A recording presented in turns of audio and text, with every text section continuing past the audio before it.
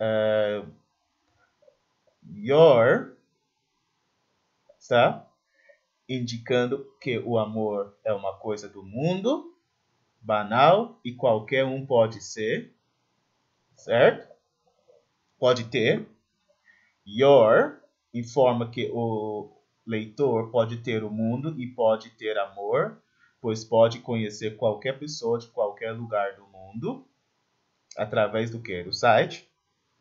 Your tem a função de impor a ideia de que o leitor precisa encontrar o amor para encontrar sentido na vida, já que ninguém vive sem love, que é o amor, ok? Então, Matilde preencheu o cadastro no site com seus dados. April, Matilde C. Barros, name or nickname? Gender, female, birthday, April 5th, 1950. Save, salvar, ok? About me. Live in Rio de Janeiro, Brazil. Works as a teacher, graduate degree. Knows English, Spanish, and Portuguese. Relationship divorced. Have kids, no, smoke occasionally, drink, never. Height 164 centimeters, body type athletic, eyes brown. Ok? Agora, quais informações você descobriu sobre Matilde a partir desse formulário? Se você fosse preencher o cadastro em um site de relacionamentos, teria que dar algumas informações. Então, vocês vão listar seus dados no caderno, certo? Seguindo o exemplo da Matilde. Para orientação, name or nickname, gender, male, female, prefer not to inform, que você não quer mencionar, tá não binário, birthday, data de nascimento. Aí, ó, agora tudo aqui em inglês, tá, gente? Live in, onde você mora, work as, trabalha com o quê?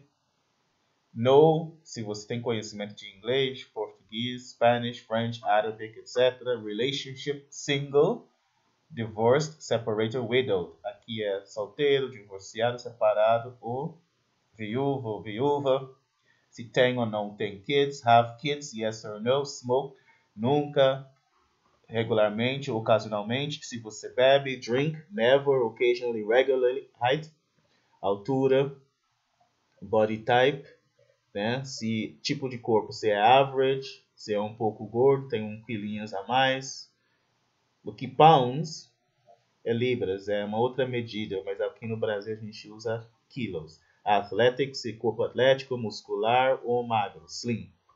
Eyes são os olhos, se é black, brown, blue, green or gray. Hair, cabelo, se é black, blonde, brown, gray, bald. Tudo bem? Observe interesses da Matilde e liste, né, em seu caderno os interesses que você tem em comum. Tudo bem? E... Mas antes disso, deixa eu ver uma coisa aqui. Então, por exemplo, Matilde tem My Interests. Biking, camping, cars, cooking, dancing. Biking, camping, cars, cooking, dancing. Diving, fashion, fishing and hunting, games, hobbies, and crafts. Diving, fashion, fishing and hunting, games, hobbies, and crafts. Hockey, lying on the beach, meditation and yoga, movies, museum and arts. Hockey, lying on the beach, meditation and yoga, movies, museum and arts. Então, biking, o interesse é, tipo, andar de bike, acampar, carros, cozinhar, dançar, dançando, né?